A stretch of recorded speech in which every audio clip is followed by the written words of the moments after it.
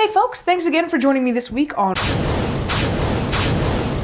this week, I want to get on the same page with everyone about Facebook events. There is an unspoken rule about Facebook events, but at this point, I'm just not entirely sure if it is an unspoken rule or if I just made it up in my head and I assume everybody else does it. So, first off, if I don't live in the same city as you, don't invite my ass to come to that party. I don't live there. It makes me ask myself two questions. One, are you an idiot and you don't know where your friends are geographically located? Or two, did you just invite every single one of your friends because you're that person. Well, I know half these people don't even live in LA, but oh my god, imagine the look on their faces when they see that I'm having a birthday event on my birthday. what? Yes, I'm doing it. I want to kill that person. The only time you should be inviting people that don't live in the same place as you is A, if they're your close friends and you're trying to make them jealous. Duh.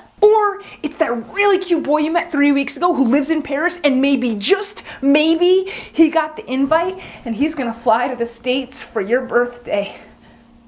Now, if you haven't invited me to a Facebook event, here are the ways you can figure out if I'm actually going. Yes. Now, if I respond yes, that's a definite maybe. Generally, I'll comment in the section below and shed some light on the actual situation. Uh, yes. Hey girl, I don't think I'm gonna make it. I'm gonna try, but you're great. Translation. This is me writing words, writing words, words, words, words, so that you know that I support you, cause I'm not going to your event. La la la la la la. Maybe. If I responded maybe, that's a definite no. Clearly, I'm just responding because you're a home. And I'm such a popular influence, and I don't want anybody's opinion to get swayed by me not going. But it's a definite no. Hey girl, super excited about the party tonight. I work till 10, so hope I can come after. Translation, bitch, I ain't going to that shit. You know I got work. No. And if I say no, well, it's either because I really hate you and I want to stick it to you, or it's because I really like you and I want to show you that I saw your event, but I just can't go. Hey girl, sorry I can't go. Have fun. Translation, eat a dick.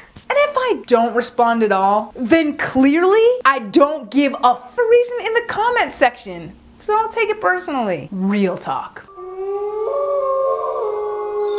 I'm trying to hook up with you later, so I'm just laying some foundation.